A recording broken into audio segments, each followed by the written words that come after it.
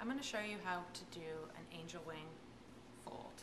You're going to take your pre-fold diaper, you're going to lay it down lengthwise, you're going to place your baby on it, line it up with its back, you're going to fold one corner in, one edge in, the other edge in, bring the front panel up.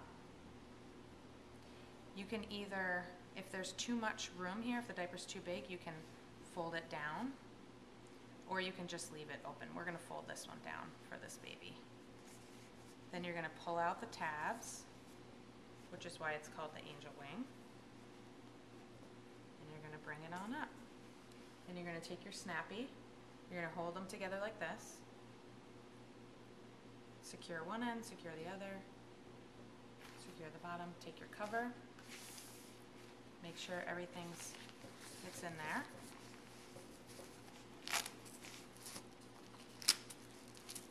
And then make sure nothing's sticking out. Tuck it in. And that's it.